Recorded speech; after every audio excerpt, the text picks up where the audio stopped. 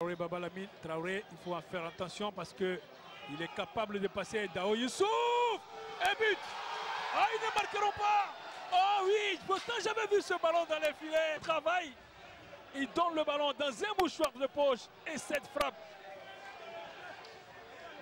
Kader. C'est surtout la promptitude et la vivacité du geste de l'attaquant.